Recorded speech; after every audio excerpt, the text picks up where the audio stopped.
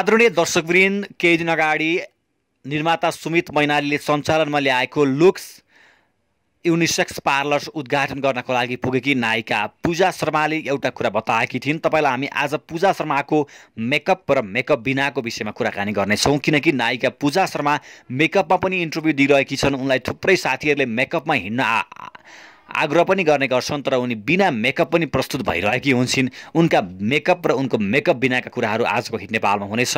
तपाईँलाई हामी एउटा प्रतिक्रिया पनि माग्नेछौँ। तपाईँलाई यो रिपोर्ट अलिकति हेरेपछि त्यो प्रतिक्रिया के हो त्यसको बारेमा तपाईँलाई हामी जानकारी गराउँदैछौँ।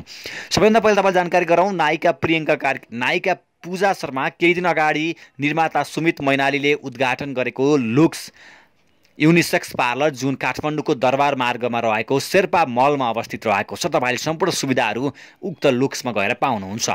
उक्त लुक्सको उद्घाटन गर्न पुगेकी थिइन् नायिका पूजा शर्मा र उनी विशेष गरी जुन ताले रफटप पाराले पुगेकी थिइन् विशेष गरी नायिका वर्षा राउ दिपाश्री निरौला निकै नै बनेको अवस्थामा थिए भने नायिका पूजा शर्मा अलिकति रफटप टाइपमा कार्यक्रममा पुगेकी थिइन्। त्यति बेला पूजा शर्माको मेकअप स्टाइलको बारेमा त्यहाँ कुरा भएको थियो। एकैछिन तपाईँलाई हामी नायिका पूजा शर्माको मेकअपप्रतिको रुचि र मेकअपप्रतिको चाहनाको बारेमा यहाँ थोरै कुराकानी गर्दैछौँ। मलाई आउँदैन क्या होइन अनि भने रफ कसो हिँड्छु मैले मेकअपै किनकि मलाई पनि लिपस्टिक मात्रै लाएर होइन त्यो राम्रो क्यामेराको र त म एकदमै रफ अनि मलाई पार्लर एकदम एक्टिङ मलाई भनेको मेरो आफ्नो पर्सनल तर पनि तर अहिले सुमित चाहिँ किन मलाई खुसी लागेको छ भने म एज अब हामी नोन फेस भएर पनि होला कहीँ गयो भने कम्प्लेन गर्न डर लाग्छ तर सुमित दाई भइसक्यो कम्प्लेन त आउँदो जान्छ मलाई यो भएन होइन किन त्यो मान्छे एउटा अट्याचमेन्ट त्यो भइसकेपछि सजिलो पनि भयो क्या त्यो कम्फर्ट जोनमा सुमित दाईसँग हामी छौँ होइन त्यही भएर म हामी मात्रै होइन हाम्रो दर्शक जतिले हेर्नु भएको छ तपाईँ यहाँ आउनु भने सुमित दाई जुन अनर हुन्छ उहाँ चाहिँ एकदमै सजिलो हुन्छ तपाईँलाई केही कम्प्लेन गर्नु मजाले गर्न सक्नुहुन्छ पूजा शर्माले बताए अनुसार पनि उनलाई खासै मेकअप गर्न आउँदैन उनलाई विशेष गरी गाजल पनि राम्रोसँग लाउन आउँदैन र उनी लिपस्टिक मात्र लगाएर पनि हिँडिदिन्छन्। उनी बिन्दास पाराकी छन् र पूजा शर्मा विशेष गरी रपटप खालको पहिरन पनि विशेष गरी हिँड्ने गर्छिन्। त्यस कारणले गर्दा पूजालाई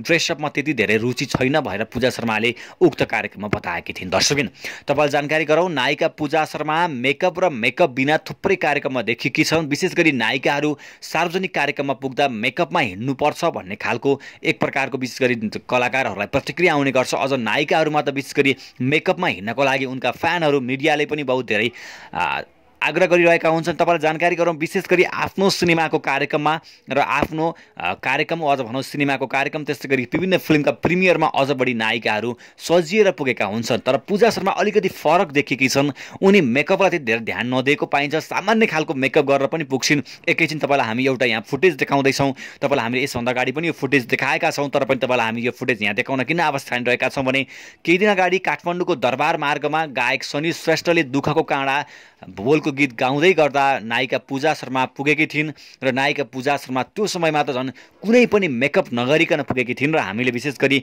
हिट नेपालमा त्यो रिपोर्ट हालिसकेपछि अरू युट्युब च्यानलमा पनि ती भिडियोहरू आइसकेपछि विशेष गरी दर्शकहरूले पूजा शर्मालाई मेकअप गर्नको लागि पनि आग्रह गर्नुभएको थियो र नायिका पूजा शर्माले आफू रफटप भएर हिँड्ने गरेको बताएकी थिइन्। तपाईँले फुटेज हेरिरहँदाखेरि त विशेष गरी केही दिन अगाडि हामीले दरमार्गमा यो फुटेज खिचेका थियौँ जहाँ नायिका पूजा शर्मा कति पनि मेकअप नगरिकन पुगेको अवस्था थियो। उनी निकै नै सिम्पल तरिकाले पुगेकी थिइन् पाइन्ट लगाएकी थिइन् त्यस्तै गरी ज्याकेट लगाएकी थिइन् उनी सिम्पल तरिकाले पुगेकी थिइन्। दर्शकबिन तपाईँ जानकारी गरौँ पूजा शर्मा यसरी सार्वजनिक कार्यक्रममा पुग्दा तपाईँलाई के लाग्छ?